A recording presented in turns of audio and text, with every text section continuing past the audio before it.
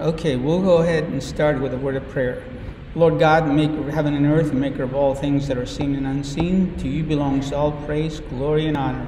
Help us now to look into your word and to understand it. We ask this in your Son's name, Jesus Christ. Amen.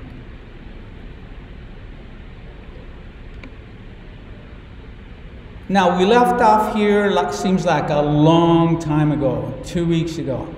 Um, the first temptation. And the first Adam disobeyed, and we were all made slaves. And then the last Adam obeyed, and prison doors were opened. Um, so here's the, the, the thesis we're taking into the study Philippians 2 7. But made himself of no reputation, and took upon him the form of a servant, and was made in the likeness of men. It says, made himself of no reputation. That word is to make empty, which takes us back to Jabbok, the river that empties itself into the River Jordan and into the Dead Sea. That is the same thing. And that's why this makes sense, him having gone to that place. Um, and it says here, and took upon him the form of a servant, and was made in the likeness of men. So become, and that's anthropos. That's man. And that is what Luke is all about. So Jesus emptied himself and became man. And he's both. He's fully man and he's fully God. But Luke stressing the fact that here's the perfect man. So that's the thesis. And Jesus answered him, saying, It is written that man shall not live by bread alone, but by every word of God. So this is the answer. This is an answer to the first uh, temptation.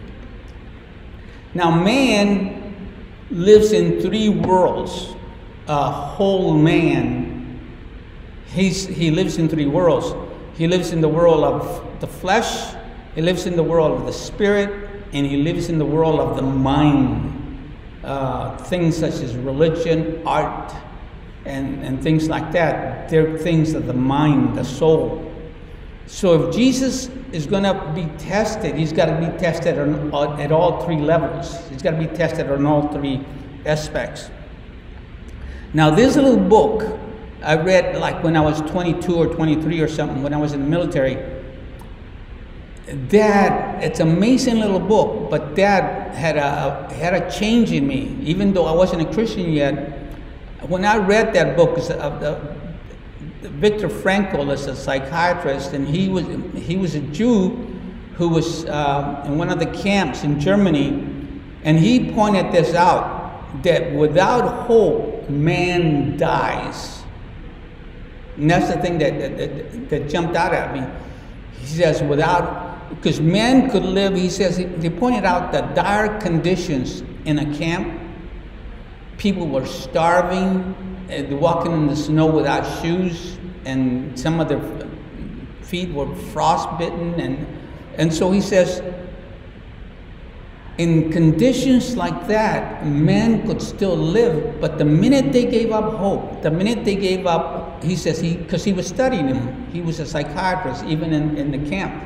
He was making notes of this. He says that when they gave up hope with, uh, with the, uh, the fact that they were, or the idea that they were ever going to be rescued, or that they'll never see their loved ones, he says they would die. Soon thereafter, they would die. And then I, I, I connected that with this verse in, found in Psalm 39 7. And now, Lord, what wait I for? My hope is in thee. And I put the little word manna right next to that verse there because manna means what? It's whatness. What is it? That's what they didn't know what that was.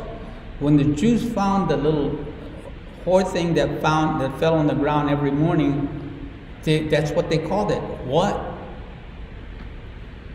So I want you to keep that in mind. That's what that is. What wait I for? And I think it's a connection to the Word of God.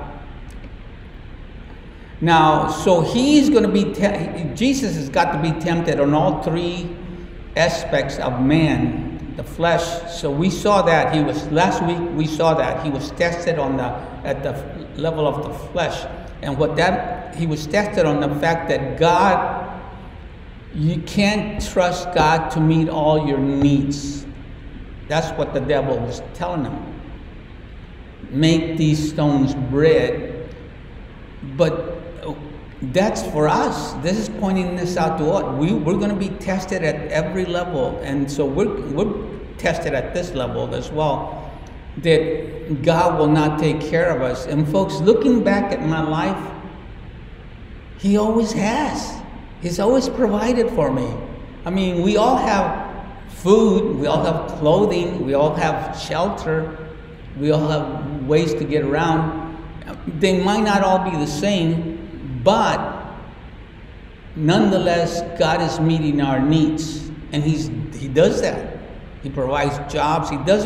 He does that, and yet we worry and we scurry around thinking, "How am I going to do this?" When the whole time God says, look at the birds, look at the flowers.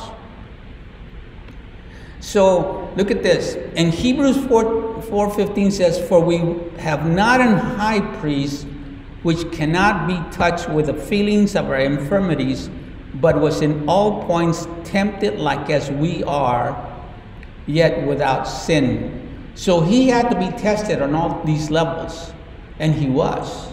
And Bible says, and without sin, he didn't sin. So in order to be an intercessor for us, he had to understand. He had to have sympathy. He had to have an understanding of what we go through. And this tells us so much how God sees us. He knows what we're going through. This is what this tells us. And no matter what you have, what you're going through, God says this tells us He was tempted on our level and He knows, you know. Um, and we do that to ourselves as well. The people that go through certain tests, certain things, can counsel others on that because they know what it feels like. Uh, and so, God, we have a high priest, an intercessor. If He's going to intercede for us, He knows what it's like to be human. He was here 2,000 years ago. Jesus answered, that's to conclude for oneself, to arrive at a judgment or opinion by reasoning. Now, remember last week we talked about how Jesus went into the into that area to be tested into the wilderness, so he would teach us how. He's going to teach us how to deal with temptation. So, and he humbled thee and suffered thee to hunger and fed thee with manna which thou knewest not, neither thy fathers, neither did thy fathers know. Now he's going to quote from this, from Deuteronomy 8. And this is part of the first portion from where he quotes. And look what it says here. He humbled thee and suffered thee to hunger and fed thee with manna. That's the whatness. That means, what is it? I don't know. And you got to keep in mind, we forget that the Jews at this point did not have the Bible. Maybe they had the book of Job. Maybe they had Genesis, but that's about it. At this point, they didn't have the Bible. So if you're going to hope in something, what are you hoping? What do you, because we have the Word of God and we have, it's such a great hope. When I read portions like this, it blows me away. I have the Bible to read to give me hope. God knows what He's doing. He knows what He's doing. It's going to be all right, no matter what. But they didn't know, which thou knewest not, neither did thy fathers know. They didn't know it. And that's the manna when they picked it up every morning. And they, folks, they survived on it for 38 years. That's how long they ate, or, or longer you mean uh, 40, because they were given that as they crossed. We're going to see that. That he might make me to know that man doth not live by bread alone, but by every word that proceedeth out of the mouth of the Lord doth man live. And I circled live. You will live if you have hope. Just like I pointed out that Viktor Frankl says, the minute you give up hope, you die or things go south on you.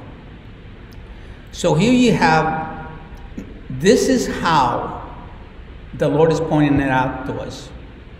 But if you don't know the Bible, if you can't, if you don't read the Bible, you know you don't know what He says in there to have hope. So the Lord is teaching us because He quoted from the, what they had, the Old Testament, because at the, at the time of the Lord, the New Testament did not exist.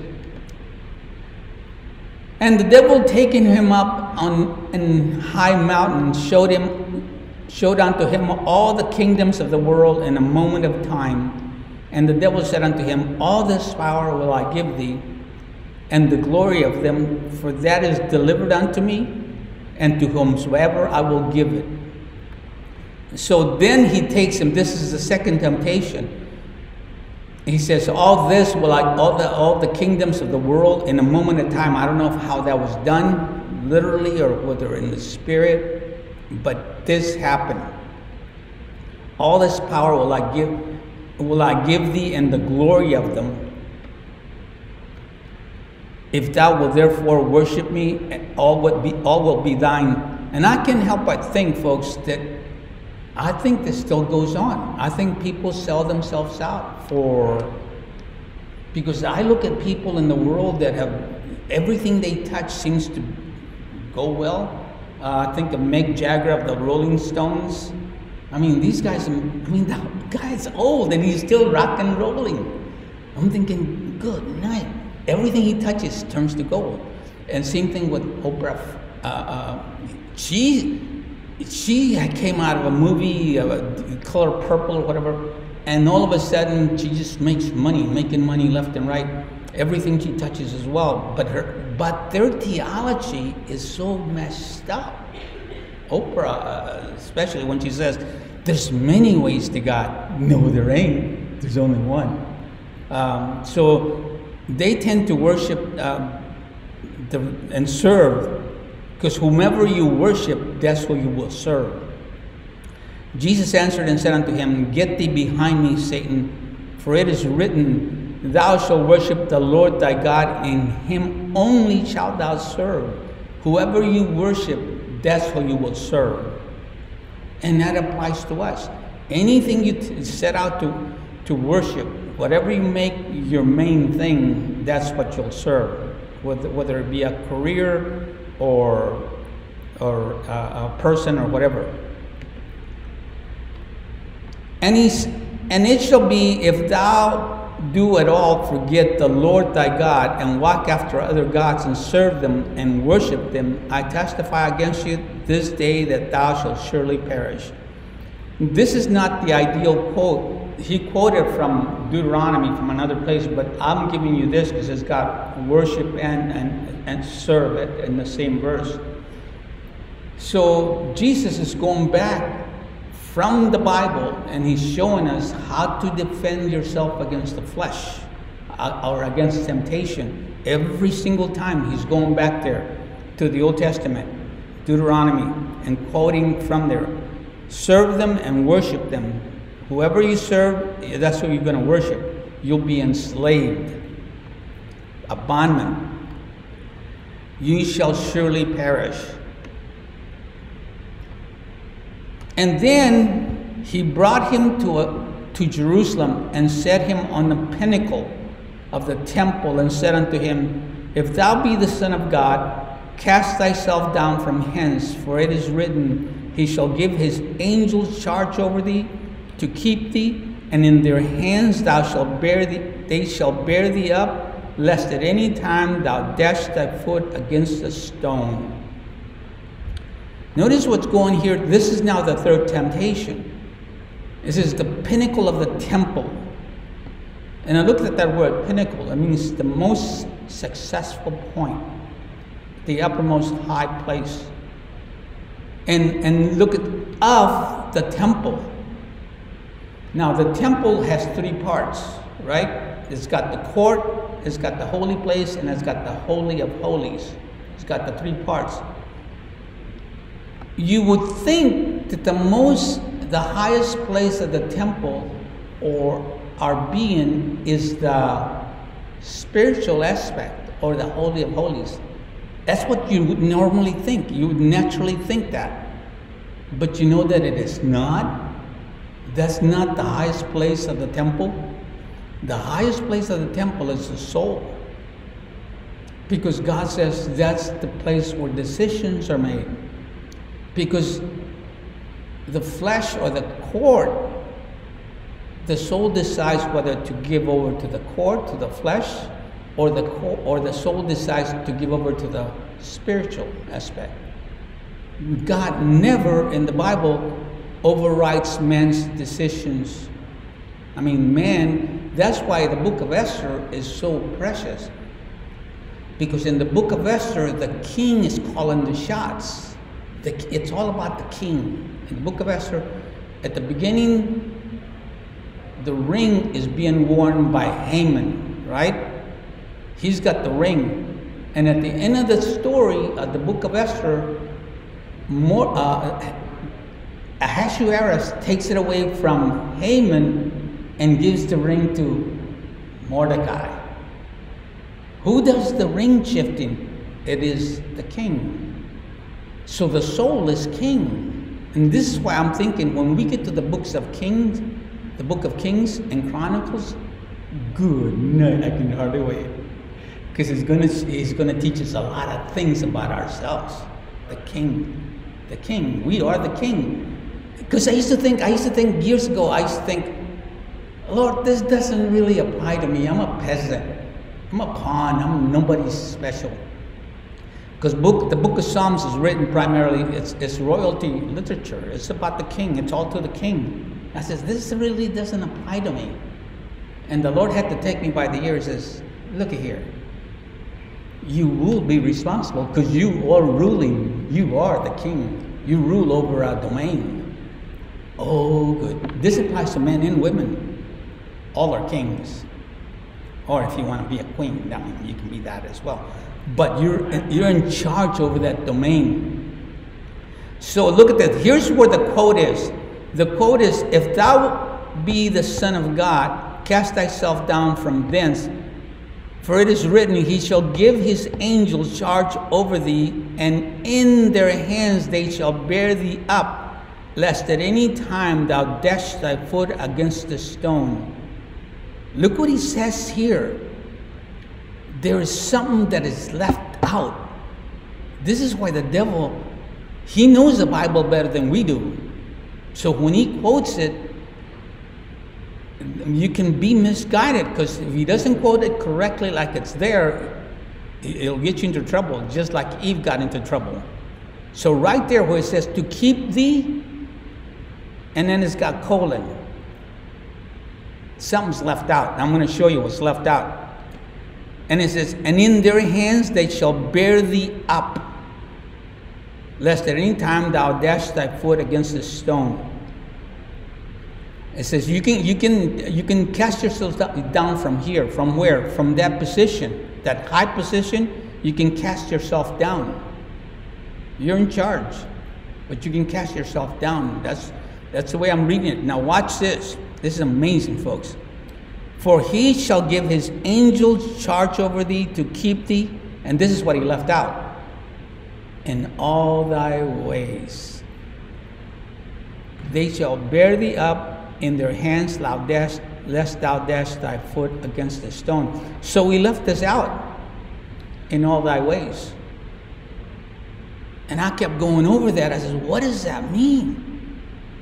because everything in the Bible means something. So he says, This is the way I look at it, folks. Cast yourself down.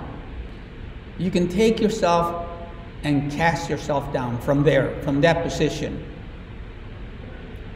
So it means you're going along life, and at a certain point in time, you say, Well, you know, I've been such a good guy. I tithe, I go to Sunday school, I do all the right things. It's okay to go walk on the wild side for a little while. That's what the devil says. You know, you've been a good boy all the time. I mean, you can do this. It's okay. God forgives. So you bring yourself down, and he, the devil says, You'll be caught up. The angels, the angels will bring you back up. They'll lift you up. He says, They'll do that, and then you can go on your way. See, it's, it's all taken care of. Because we assume, look at this, folks. If you cast yourself down, you're assuming you are keeping yourself up. That's what that means. And I'm going to show you how. Why that why I believe that. Look at this. Way in the Old Testament, when they crossed the Red Sea, they crossed at the Gulf of Aqaba into Saudi Arabia. Look what happens here. They crossed over and they're going to Mount Sinai or Mount, Mount Horeb and they come to a place called Massah Meribah.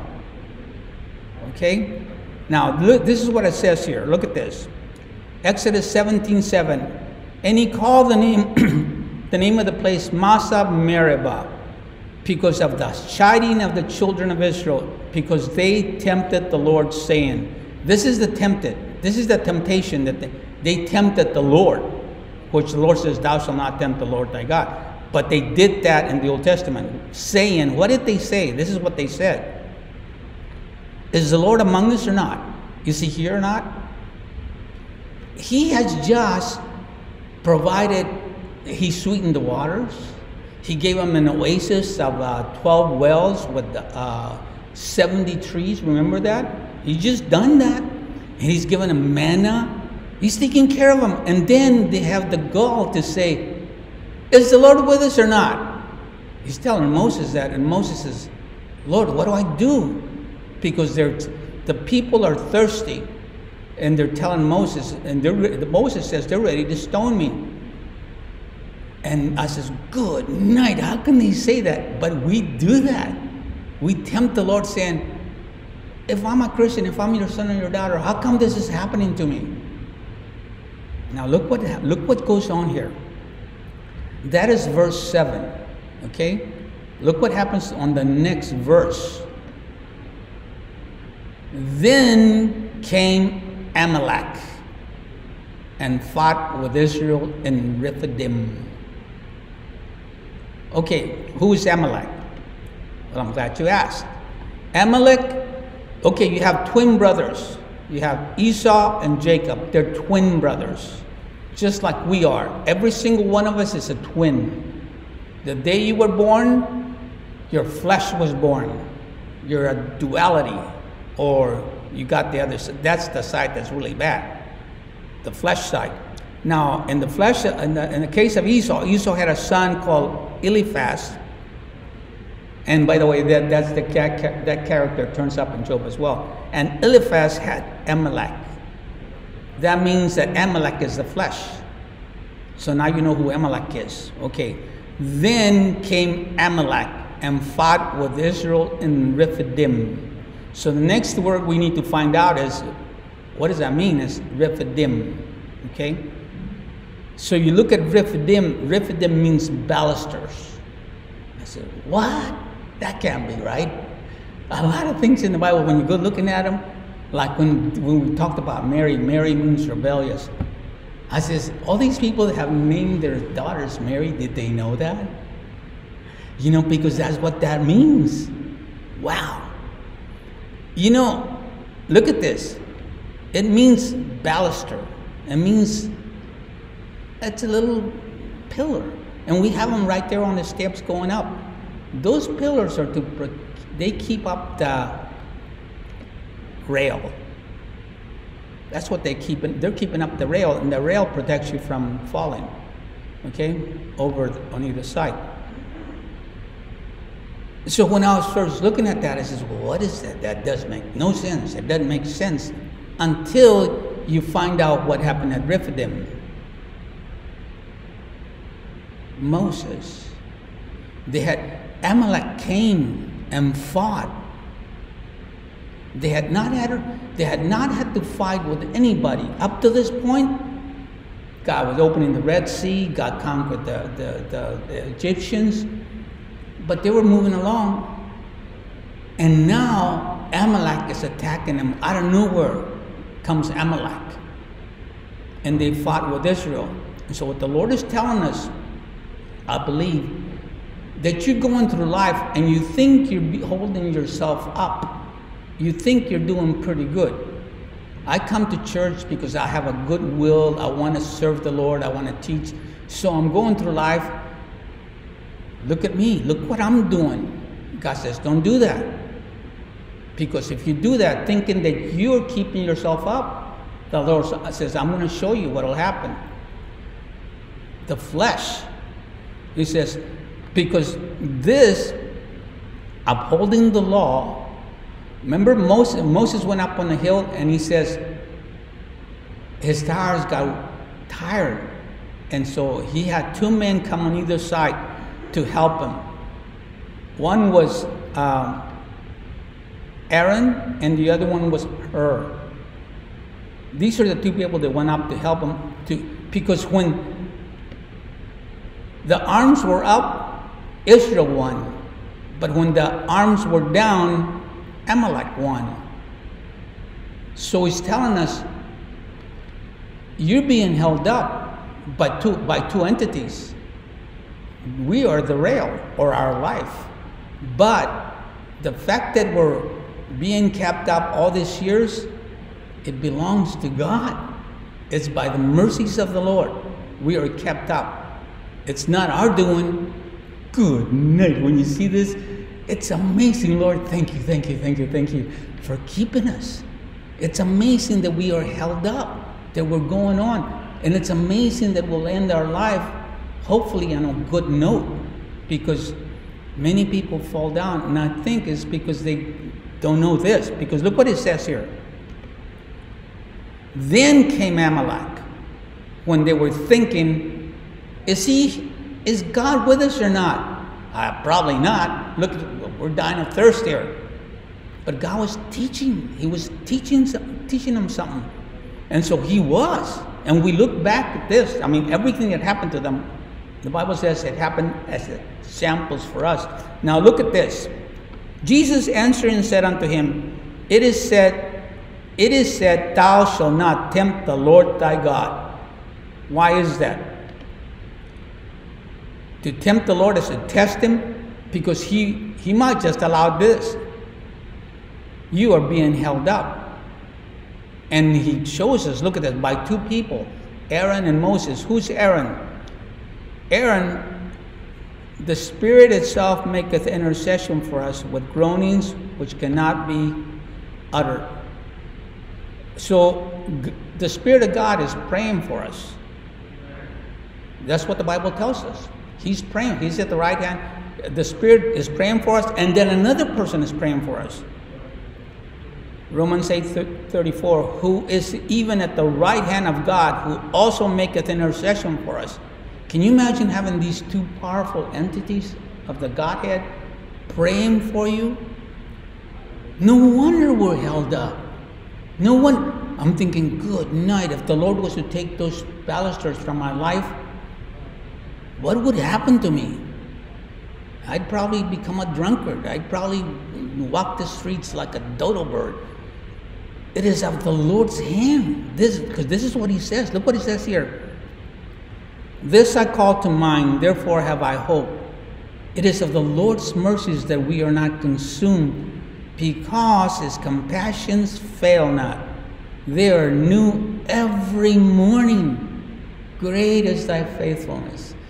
That's when the manna came every morning. So this tells us, folks, that the Word of God is so important. It is. No matter, I tell people, even if even if you don't understand it, read it, because it's going, it's percolating through you, and it's going to do you good. It gives you hope. But this is what the Lord is teaching us. Look at this one. Psalm 3:5. I laid me down, I slept, I awake, for the Lord sustained me. And that word sustain to prop. a pole or a beam used as support or to keep something in position. That's what that means. So we are being kept up. This is why the Lord says, don't test that. Don't think that you, the test would be to say, you know, I've been a pretty good guy. For all this time, I've been doing this. I have been doing this because I, I figured it was good, so I just did it. God says, oh, really? Have you? And then he can, all, he does, all he's got to do is knock the props out from under me. And what would happen to me? That's what that means. Now, you shall not tempt the Lord your God as you tempted him in Massah and Massah. And that's what that means. That's why we have to go back and look at that. And he says, um, in the wilderness, in the desert. And then he said this, and he called the name of the place Massah and Meribah, the provocation, because of the chiding of the children of Israel, and because they tempted the, the Lord, saying, Is the Lord among us or not? And that's what he's saying. The Lord Jesus, he's used that. And when the devil had ended all the temptation, he departed from him for a season. So he's done with the temptation for a season. So this tells you, like many preachers have pointed this out, that he never really totally gives up on you. He'll leave you for a while. That's what that says, for a season. Chances are he's going to come back at it again. You're going to be tempted again. It's never over till the day you die. No matter what. No matter. I used to think that at a certain point in life, you're going to arrive. You know, you're going to start getting smart, and you're not going to make. Chances are you're going to sin less, but you're never saved, folks. You never until the day you die. The day I die, I says, "Man, I made it." But that'll be. That's the only time you can say that. Then the devil leaveth him, and behold, angels came and ministered unto him. And, I, and I, that verse was given to me by Brother Ashton. That when we talked about, remember Mahanaim, and then came the other camp that was there. This is the other camp. The angels ministered unto him. So he was starving for 40 year, 40 days, and then afterwards, I wonder what kind of food did they bring. They, they brought food, they ministered unto him. Did they bring barbacoa tacos? Or menudo? I don't know. I don't know, but it could have homemade tortillas, corn tortillas. Ooh. Or was it a hamburger? I don't know. But they ministered unto him. They came. Now look at this. He had to be tested and on all these levels, the man test. The Son of Man had to be tested as man is. Man should wait on God's provision, man should wait on God's power, and man should wait on God's process. But we don't. How many times have I done things without waiting on God? I just do the thing and I says, Oh, I wonder if I should have done that. Or we'll say, I prayed about it. But then we didn't wait, we just did it anyway. But Jesus came and we says that he did wait. Jesus, as the Son of Man, he, did, he, didn't, he waited on God's provision. He didn't make the stones, he didn't turn the stones into bread. He waited on God's power and he waited on God's process, which is the cross. The devil says, You can get all the kingdoms, all the ruling, all that without the cross. He says, No. He, so Jesus, Bible says he was approved. Jesus was approved. He's been accepted. And because he's approved, we are accepted. Look at this. For we have not an high priest which cannot be touched with the feelings of our infirmities, but was in all points tempted like as we are, yet without sin. So here we have, I mean, the, this is an oh, powerful verse because this tells us that Jesus knows what it's like to be a man. He does to be hungering in the desert that i mean the body he had was real he had a real body and 40 days folks is a long time. He must have been starving. The body must have been screaming at him you're gonna die. He goes through it. So when he looks down at our lives he considers the feebleness of mind or body. He knows what we're going through. You can never go to heaven and say, Lord, you never knew what it was like to be down there. It says, Yes, I did. And, uh, and also the fact that he had a perfect body. Now look at this. And Jesus returned in the power of the Spirit into Galilee, and there went, there went out a fame of him throughout all the region round about, and he taught in their synagogues, being glorified of all. He got everything the devil was offering him. He got it all right here. He tells us he got it all. He returned back. Now look what happens here. He turned back from Rabok, for he was being tested. He he made it. He goes back to the River Jordan, but this is interesting, folks. I says, why didn't he cross the river there? He doesn't. Look where he goes. The Bible tells us in John that he was at John the Baptist was baptizing in a place called Bethabara. That means the ferry house. That's where they cross you over, right? That's where they, you cross back. Now look what goes on here. John the Baptist says, Behold the Lamb of God who takes away the sins of the world. That's what that's sacrifice. He's going to die. Remember? So he had to be pointed out because he's going to cross the Jordan. And when you cross the Jordan, remember we talked about that? That's death to self. But in Jesus' case, he was really going to die, not like us. It's a picture. So he crosses over, and immediately two people look at him, and, this, and he, Jesus turns back and says, What do you seek? And who were those people? Andrew and John. And they answer, Rabbi, where dwellest thou?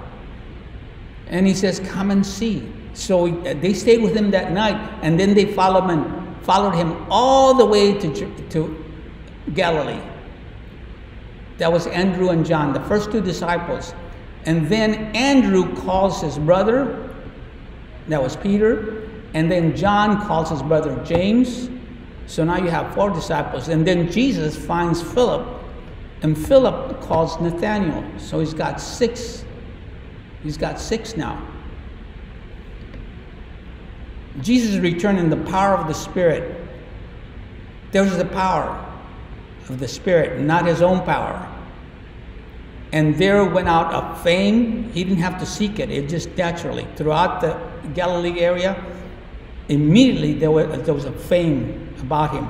And, and, and then as he taught in their synagogues, being glorified of all. So everything that the devil was uh, uh, offering, he got naturally. And he came to Nazareth where he had been brought up, and as his custom was, he went out into the synagogue on the Sabbath day and stood up to read. Let's just cover this a little bit. So he comes across from Capernaum, he goes to Nazareth, and um, uh, Luke doesn't mention this, but I thought I mentioned this because this is, he went through a little town called Cana because he had been invited there. Both Jesus was called and his disciples to the marriage. Now, we're going to get into this when we get to John, so we're going to have to wait for that. But, folks, I think because he had six disciples, I think he's talking about the six water pots. He's going to convert to wine. And that is a fantastic lesson when we cover it because joy is coming. Now, and look what he says. The, this beginning of miracles did Jesus in Cana of Galilee and manifested both his glory and his disciples believed on him. And this is why I, I mentioned that because his disciples believed on him. Where he had been brought up. This is where Jesus, as a man, is going to start his ministry where he was brought up. And I think he's telling us that you, wherever the Lord saves you, that's where he wants you to start the ministry. That's where you that's where you're to serve. You know? And then look what he says here. He says, they that see, he didn't go to they that see, he went to those that were blind. Because they that see, you can't really talk to a person like that person out, out there, he thinks he sees. So I'm not going to waste my time with him because he thinks he sees. I would rather talk to somebody that doesn't know. You know? Uh, and this is what the Lord is doing here. He went to those that are, as, as, as his custom was, he was known for this. Now we're going to close here. Okay. And the, and the Spirit of the Lord is upon me because he hath anointed me to preach the gospel to the poor. He hath sent me to heal the brokenhearted, to preach deliverance to the captives, and the recovering of the sight to the blind, to set at liberty them that are bruised, to preach the acceptable year of the Lord. This is, this is the beginning. This is the start of the ministry. Look what, look what he's saying here, folks. The Spirit of the Lord is upon me, and that's me. The Spirit of the Lord is upon me, and that's us. Because we, this is what he says what will happen to the church, the Spirit filled church, who we are. We're to give the gospel for this reason to preach the gospel, to preach deliverance to the captives, and recovering of sight to the blind. That's teaching and to set liberty them that are bruised, counseling and prayer, to preach the acceptable year of the Lord. Salvation, today is a day of salvation. And that's what the church, because the body, see, if you notice, I put a body up there, but it's got no head. The church is his body. Jesus was here in person, and then he left, and then we are supposed to be doing the same work that Jesus was doing which is what he went to do at Galilee, at Nazareth. And that's us. We are the body. And the body is still supposed to be doing the gospel, the teaching, the counseling and prayer, and given salvation today. Today is an acceptable year because he's coming back. This is what it tells us. He is coming back. But we'll close here. Let's pray.